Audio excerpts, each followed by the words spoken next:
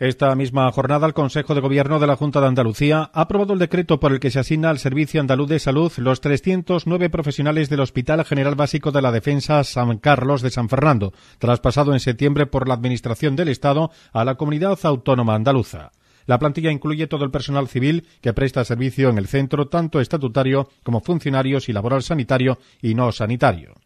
La incorporación supondrá un coste anual de más de 9,8 millones de euros que se va a financiar inicialmente con cargo a los créditos del SAS en el presupuesto de la Junta y se compensará posteriormente en su totalidad con los ingresos procedentes de las transferencias del Estado. El decreto aprobado hoy se enmarca en la colaboración que desde 2005 se mantiene entre la Administración Autonómica y Defensa para dar asistencia a la población de San Fernando y la Bahía a través del Hospital San Carlos. Y si hablamos del centro sanitario isleño, también hay que destacar que ha comenzado a prestar nuevos servicios, una actividad asistencial gracias a la puesta en marcha del servicio de exploraciones digestivas, lo que va a suponer para la ciudad isleña una mejora en su accesibilidad y comodidad, ya que no tendrán que trasladarse a los usuarios para someterse a determinadas pruebas hasta el Hospital Puerta del Mar.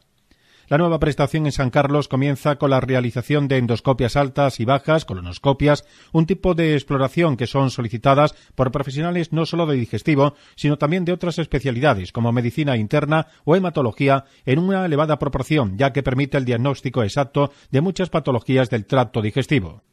El servicio consta de una sala de exploración completamente equipada donde trabajará conjuntamente un equipo formado por un facultativo y una enfermera en el primer día de actividad donde las pruebas programadas ya han sido realizadas por el director de la Unidad de Gestión Clínica Intercentros de Digestivo de los hospitales universitarios Puerta del Mar y Puerto Real, Francisco Correro.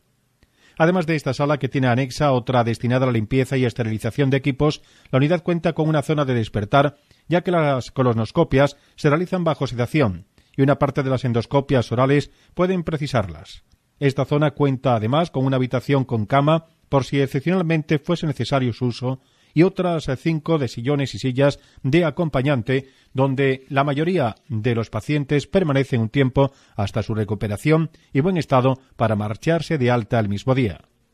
La nueva unidad incorporará en breve también nuevas prestaciones y, de hecho, está previsto que próximamente se lleve a cabo los estudios de intolerancia a la lactosa, una patología cuya frecuencia puede alcanzar al 40% de la población y que en muchas ocasiones no se detecta hasta la edad adulta.